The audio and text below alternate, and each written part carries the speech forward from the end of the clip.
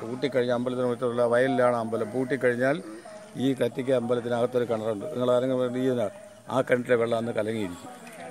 അതൊരു ചരിത്രമാണ്. ശാസ്ത്രം എന്താണെന്ന് വെച്ചാൽ നമുക്കറിയത്തില്ല. വളരെ കറക്റ്റായിട്ട് പറയുന്ന കാര്യമാണ് ആ ചേട്ടാ ഒരു അറുപത് വയസ്സിന് മേലുള്ള എനിക്കും അറുപത് വയസ്സിന് മേലുള്ള അറുപത്തേഴ് വയസ്സായ ഏ, പറഞ്ഞോ. ആ ആ അന്ന് ഈ നിലം കൃഷിയുള്ള സമയത്ത് അവിടെ ആ ആ വയൽ കൃഷി പൂട്ടിയടിക്കുന്ന സമയത്ത് ഈ പുരാവസ്തു നമ്മളെ ഗുഹാക്ഷേത്രത്തിലെ കിണറിനകത്തെ വെള്ളം കലങ്ങിയിരിക്കും. ഏത് വയലാന്നൊന്ന് പറയുമോ കടയാറ്റ്. കടയാറ്റ അഞ്ച് ഈ അഗസ്തികുടം ഇത് രണ്ടിൽ ഏതെങ്കിലും ഒന്ന് രണ്ടും അമ്പലത്തിനോട് ചേർന്ന് കിടക്കുന്ന. ഓക്കെ. ആ. അത് ഏത് ഏ- അമ്പലം? അഗസ്ത്യ കൂടുതൽ അഗസ്ത്യ കൂട് അഗസ്ത്യക്കോട്. അതിന് തർക്കം നിൽക്കുന്ന സ്ഥലമാണ് അഞ്ച് ചൊല്ലിന്റെ ഫലമാണ് അഞ്ചൽ എന്ന് പറയുന്നത്. ശരി ശരി. നിങ്ങൾ ആരായിരുന്നാലും എനിക്ക് ഒരു സത്യസന്ധമായ കാര്യം ശരി.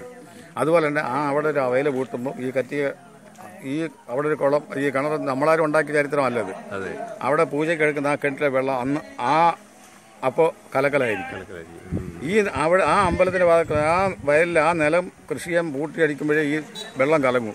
അല്ലാതെ നിങ്ങൾ എന്ത് ചെയ്താലും ഇവിടുത്തെ ഈ വെള്ളം കലങ്ങത്തില്ല. ഓക്കെ.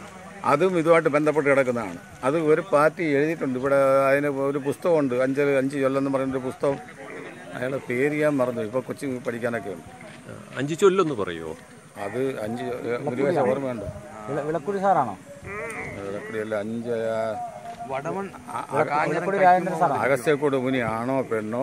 വടവൺ കാഞ്ചനം കഴിക്കുമോ മതിരിക്കുമോ വയലിലത്തെ ഒരു വയലിലോ കരയ്ക്ക്? വയലിലത്തെ ഒരു വയലിലോ കരയ്ക്കും? ആ അതാണ് ഈ അമ്പ ഇത് വയലിലത്തെ ഒരു കരയ്ക്ക്. ഇനി ഒന്ന് രണ്ടെണ്ണം കൊണ്ടല്ലേ?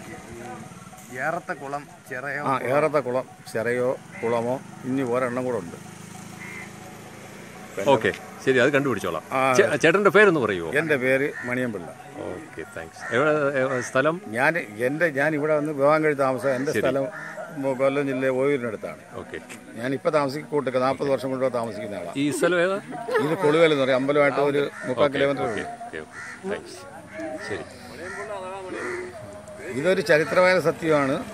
അതിൽ ശാസ്ത്രം എന്താണെന്ന് ചോദിച്ചാൽ നിങ്ങൾ തർക്കിക്കുക എനിക്ക് തർക്കിക്കാൻ ആളുമല്ല. ഇത് പണ്ട് പുരാതന കാലം പോലെ കണ്ടു കേട്ട് വന്നൊരു വിഷയമാണ്.